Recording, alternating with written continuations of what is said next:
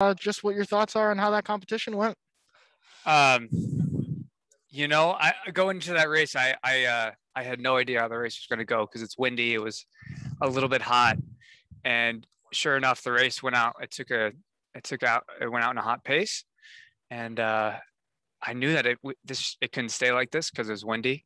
Um, so I just hung out in the back and and slowly had to fight my way up to the front. Got clipped quite a few times, but uh, you know, I, the last four laps were exactly as I imagined it. You know, just just making that hot move and and staying on it. Yeah, like you mentioned, having to work your way up throughout the race. Um, at the halfway mark, what were your thoughts about how the pace was going, how the race plan you had was being executed, and what you wanted to do to finish? I mean, I was pretty far back at, at 5K, but I'm, you know, I, I know that we just had a long way to go. I was like, this, if I'm as tired as I am right now, everybody else is feeling it too. So I just kind of waited for them to come back to me. And uh, I, I, worked off uh, Jenkins for a little bit, but then he started to look a little tired and uh, kind of had to take the race on my own after that. This next question is from Tyler Talkman, the Oregonian. Uh, what's your relationship with Grant like, and how have you seen him grow since you've been training with him? Yeah, Grant's a. I'm. It's a shame that I like him so much because I have to race him all the time. But uh, you know, he he came into the team, and uh, there was a race where he actually was banged up a little bit um, indoors, and he came back and he ran like a 742 or 739 uh, after being banged up for a few weeks. And I knew that this guy was the real deal. So I knew the very first camp that this guy was for real. And uh, I mean, nothing phases the guy. He's just super laid back. Um, it's it's a shame that I like him so much. Next question is from Eric Boal, DyeStat.com. Woody, how meaningful is this for you to achieve your first Olympic team in the state of Oregon, considering your college history at Portland, as well as training with the Bowerman Group a great deal within the state? Yeah.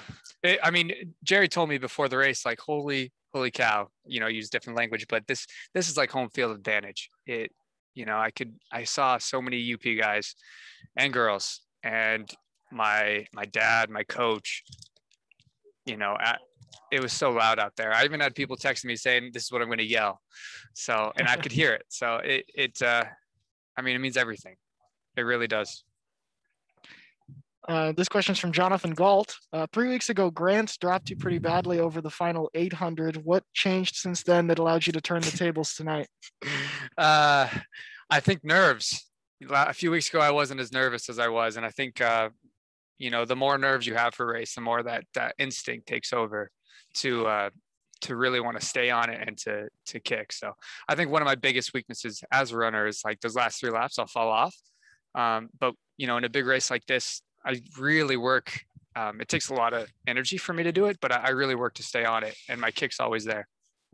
Yeah, this question's from Robert Johnson. Uh, Lopez dropped out mid race. Was that a surprise to you? Were you guys beating him in practice? And another question: uh, Will you do the 5K if you make the team? Might you give up your spot for Ben True? And what do you say to a 35 year old who came up one spot short? Hmm. Well, uh, first of all, to answer Lopez question, uh, I I wasn't sure that Lopez was in the best place he'd ever been, but he definitely was uh, fit enough to to make the team when I saw him step off, I was I was pretty pretty surprised because Lopez is a tough guy. He'll run through anything. So when something when he steps off, it means something happened. Um, but uh, regarding Ben True, I mean, no, I, I won't give up my spot for Ben. I mean, I like the guy a lot, but I mean, he's he's not my he's not my teammate. I, I don't know the guy personally, so um, I wish the best for him. It's it's a shame he's had a lot of those finishes, but uh, that's that's the way the sport works. Huh? Next question is from uh, Jonathan Gault. Uh, you waited until about 120 to go to make your move to the front. Was it hard staying patient and waiting almost 9,900 to finally make your move? No, I'm, I'm naturally a, a sandbagger. So, uh, no, it was hard to be patient early in the race when I saw, you know, 20 or, or something, some odd people in front of me. And I had to keep reminding myself, like, okay, you know, you're just as fit as these guys. They're feeling it too. They'll come back. Um, so yeah, patience was was a big part of of what um, helped me stay in that race today. Yeah. Um, another question from Jonathan Gault. Is your plan to uh, run the 5K later in the meet? And would you run both events in Tokyo? I am going to run the 5K, I think.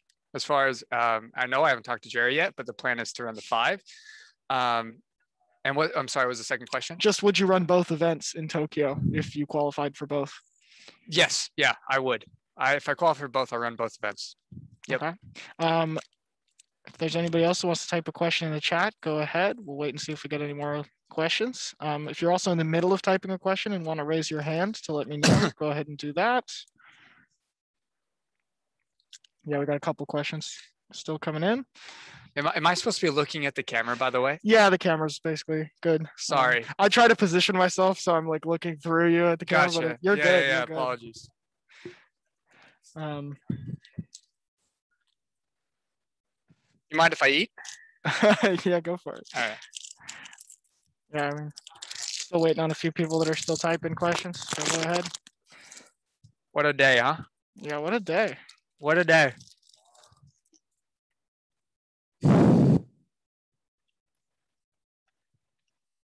Doesn't get better than this, does it? Oh, uh, yeah. I, I guess I could ask you about that. Is just Hayward Field and being back here and having this crowd. Yeah, it's, it makes you wonder. Like, is this? Yeah, it's, it's it doesn't get better than this. Yeah. Got a few more questions coming in whenever you're ready. But take your time. Yeah. Yeah, can you throw me another? Thank you. I actually need I think I need uh I need some medical care. I'm really banged up. Yeah. Like real bad.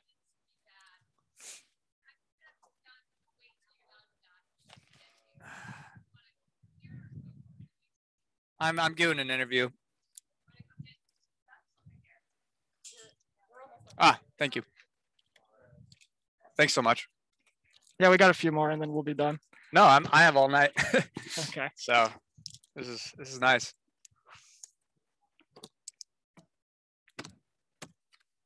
Is this uh am I on television right now? I don't think so. No. Okay. Cause I'm yeah, I'm just kind of looking around. All right. Uh, question from Rich Sands is uh, You weren't a superstar in college and your first few years as a pro. What motivated you to keep at it? Well, my first motivated. Yeah, I think the the common answer to that is they thought that they, you know, they still had more to give to the sport, and um, I think that's that's the truth, man. Uh, anytime you go through, or you have an uh, an underwhelming career in something, you always feel like you can give something more to to that career when you come to the end of it. So I think when it came to uh, college, I felt like I could do more, and uh, as a pro, I had a good opening season, and I knew I still had that. So I, I was still motivated to to succeed. All right. And then another question from Robert Johnson. Uh, this will be How distracting has the Houlihan news been? And what would you say to somebody who now doubts your performance? Well, I think uh, Shelby is is innocent, so it's not as distracting as you would think when you know somebody didn't do it. I think it would be more distracting if I was like, well, maybe, maybe, maybe she did, but she didn't. So it, it hasn't really been that distracting. Um, I wrote a post to to support her, and you could ask me now or in ten years, I you know she's innocent. So if anyone doubts my performance, they're I mean they're wrong. what do you want me to say? Yep. Um, and then last question will just be on your plans between now and Tokyo and uh, what's next for you. Um, my plans. I uh I hadn't even had time to think about it. I think I'm gonna go back up to Park City. Um, obviously I'm gonna race the 5K first. Uh, try and make that team, and then you know, shoot for the stars now. Yeah. And Not then the one, one more quick question from Larry. Larry Eder from Run Blog Run is just asking, at what point did you feel confident in the race? Um, and at what point did you feel, feel good about being able to win? Four laps to go. I think my my confidence was definitely the lowest when I, we were 10 minutes in and I was feeling very sluggish and I was very far in the back and we were clipping each other. And uh, I think that's when my the, the doubts really crept in. But once I moved up, more people started to come back and I started to relax. I was like, okay, this is natural. And uh, with four laps to go, uh, I mean, this is what I had practiced in my mind over and over. I'm like, okay, four laps to go. We're going to start to wind up. And I'm going to get into that third or fourth position. I'm just going to relax, just like practice. And that's exactly what happened. So uh, I think mentally, I was prepared for that kind of race. Um, I just had to get through the really hard part of being kicked around, people talking to each other, everything, um, and just getting in position with uh, where I could see the light. You know.